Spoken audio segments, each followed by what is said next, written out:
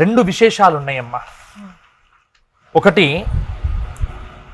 పుష్కరం మనకు గురువు ఏ రాశిలో ప్రవేశిస్తాడో ఆ రాశిని బట్టి ఆ నదికి పుష్కరం వస్తుంది.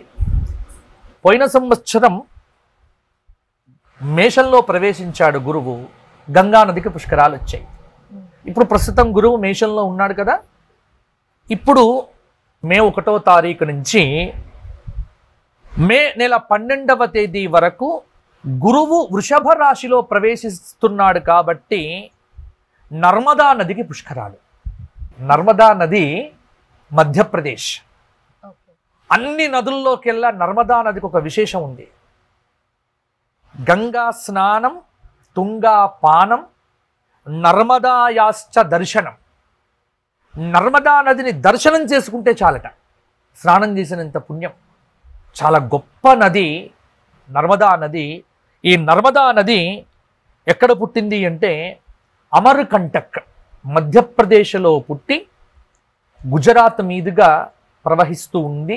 ఈ నర్మదా నది మనకు అమర్కంటక్ అక్కడి నుంచి ఓంకారేశ్వర్ ద్వాదశ జ్యోతిర్లింగంలో ఒక క్షేత్రం.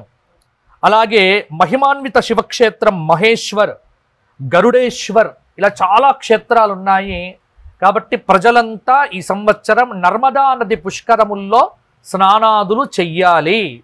ఇక ప్రయాగరాజు పూర్ణ కుంభమేళ ఈ సంవత్సరం.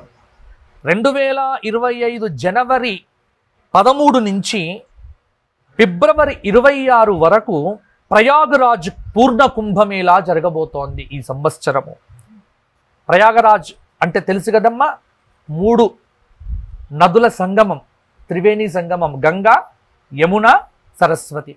అందరూ తప్పకుండా వెళ్ళి స్నానం చేయండి. ఇవి ఈ సంవత్సరం ఉన్న విశేషమైనటువంటి పుష్కరాలు కుంభమేళ.